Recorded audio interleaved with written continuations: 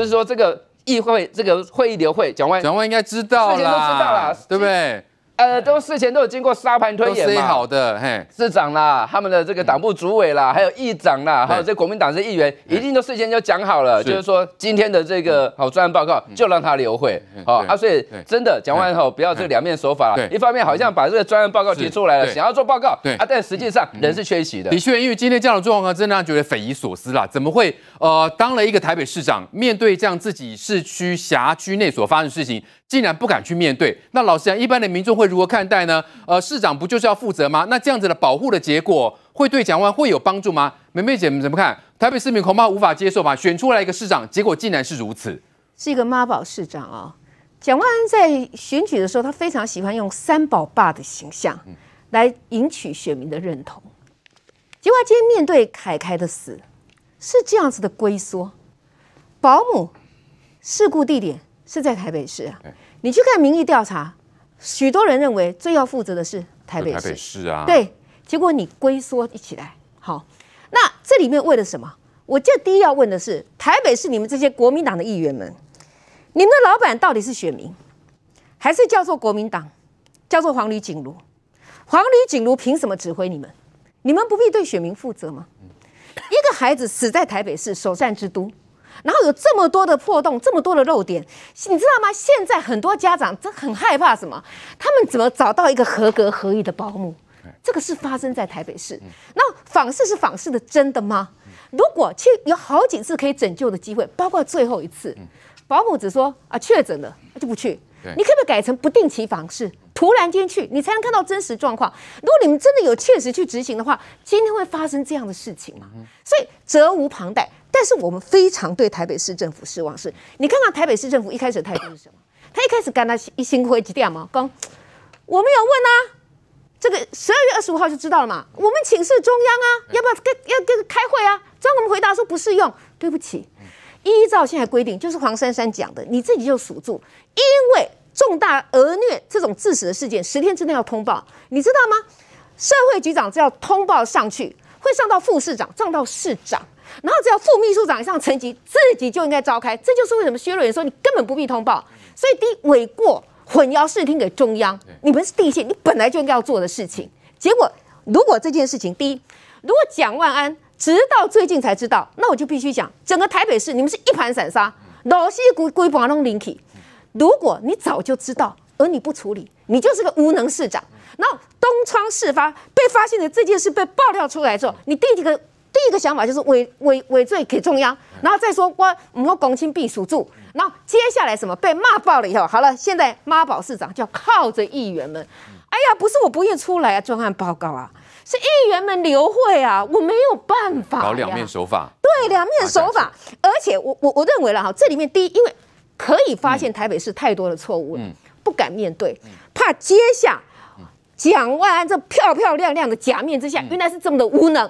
我们再来讲第二件事情哈，请问一下，第一线的一定是新北市政府跟台北市政府是吧？对，中央是第二线吧？嗯你看看中央速度多快，你看看那些国民党议员在立法院多凶悍，中央过来报告，哎中央也是最先最快道歉的，哎对好哎反而是蒋万后面才道歉。我问你哦，中央如果要最最清楚知道，是不是应该是在第一线的双北的政府先送报专案报告出来？对请问到现在有没有？嗯，到现在我们看到了什么？好，然后台北市多糟糕，十二月二十五号孩子就走了，三月十三号开第一次检讨会议，三月二十号开第一次、第二次，请问今天几号？我跟你讲啦，物件未生出来了，可能我们知不要让它下啦，不要让伊不要让它收了，所以。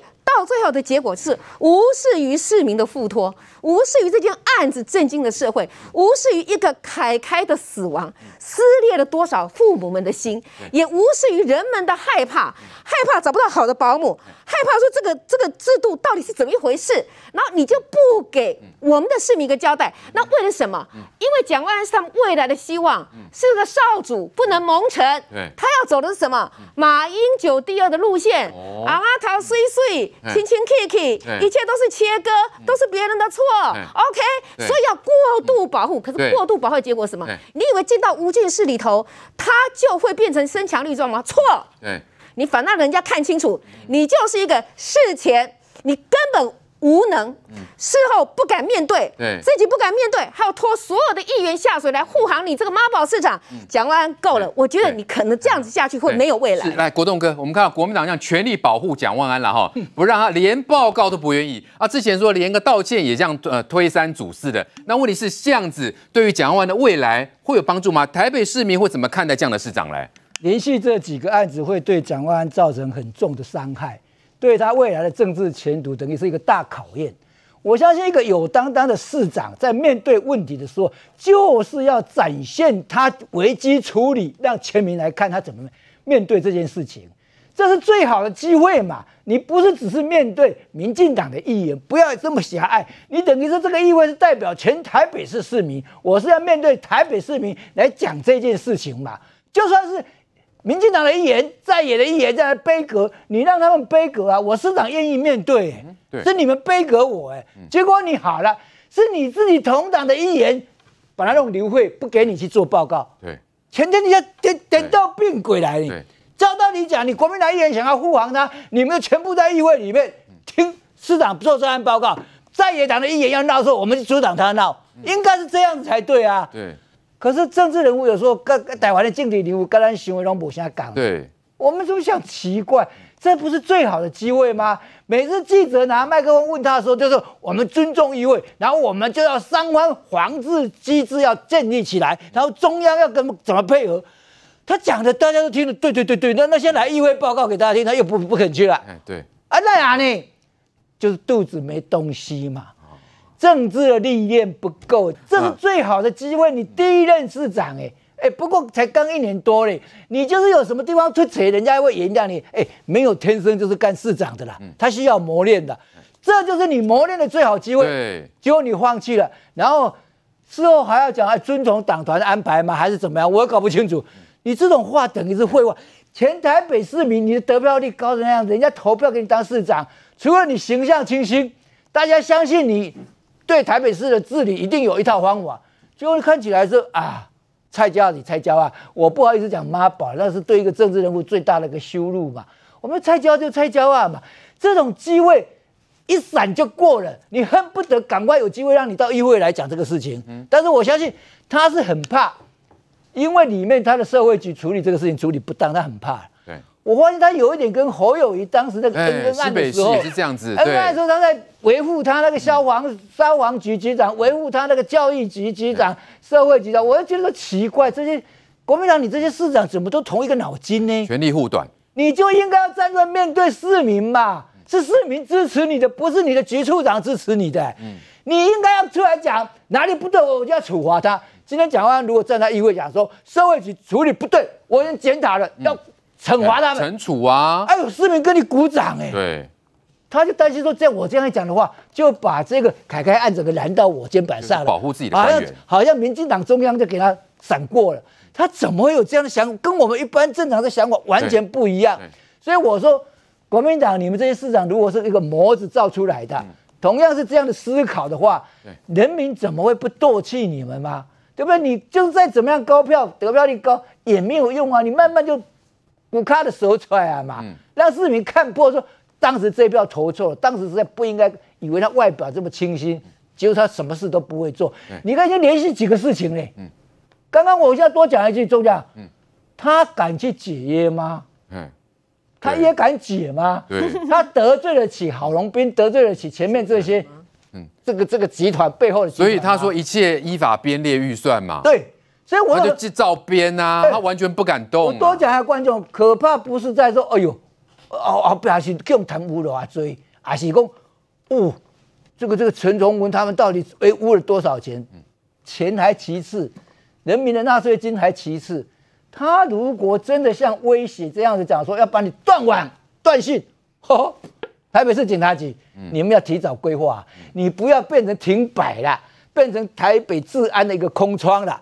监视器。耶，对，我们在抓人问，我们在交通违规车祸的全部都监视器。耶，断信停摆。那时候大台北一塌一塌一塌糊涂了。嗯，那时候好，蒋万安到时候是国民党摸民倒灰哦。啊，蒋万安你怎么对得起台北市民啊？对，对不对？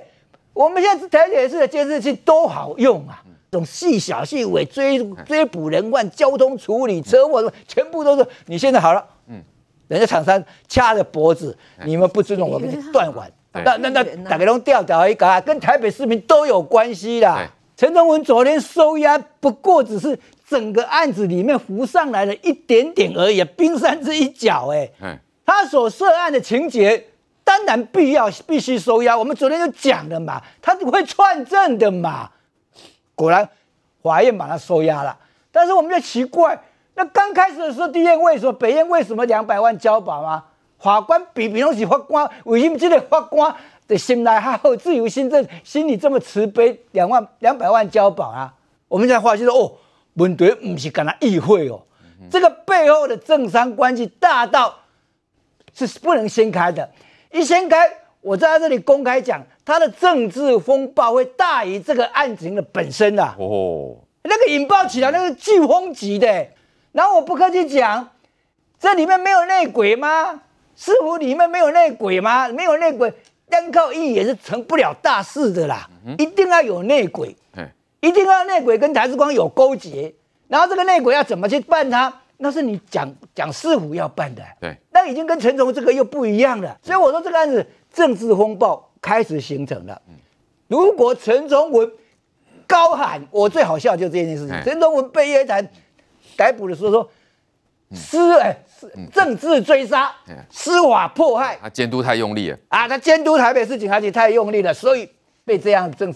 那我现在就要喊啊，陈崇文，也许你现在听不到，你收押了嘛？嗯，你敢不敢讲？嗯，我们现在赌陈崇敢不敢大爆料？对，既然是政治追杀、司法破坏，你就公开出来讲里面内幕嘛，这才叫做 Q 小，这才叫做你是重量级的议员嘛。结果你被压了。只敢高喊司法迫害、政治追杀，那是什么政治追杀？是谁追杀你？蒋万安是你国民党他追杀你吗？还是朱立伦追杀你？我们也搞不清楚他是谁追杀他。对，你台北市是国民党在执政哎，你是国民党的议员哎，你在这里替厂商在这里追加预算的时候，那国民党的市长追杀你吗？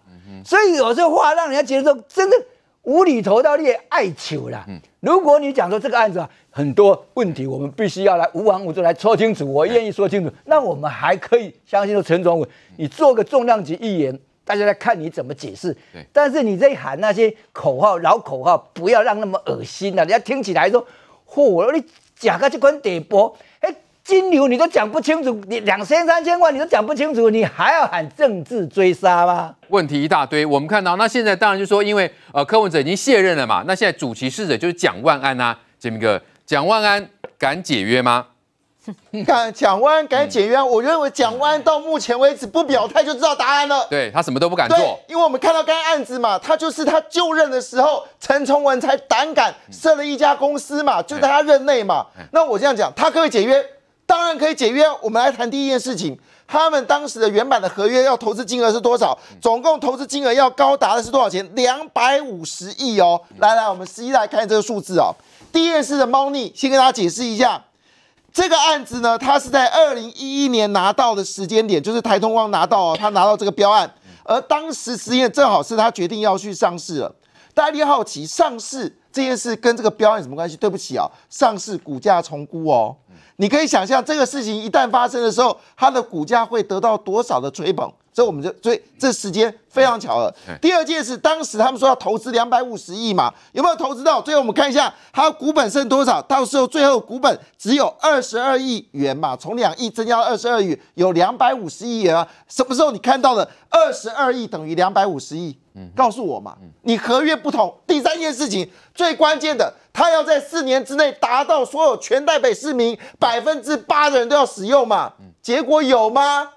结果有吗？因为我要说一下，这个案子一开始哦，并不是针对警察局哦，这个案子一开始并不是针对台北市政府的各部会哦，针对整个台北市，它是针对台北市，因为当时地下道完成了，要挂光纤，所以它有个计划，它是要把它是光纤入户哦。啊，请问一下，最近台，请问台北市民，你有谁是用台通光的？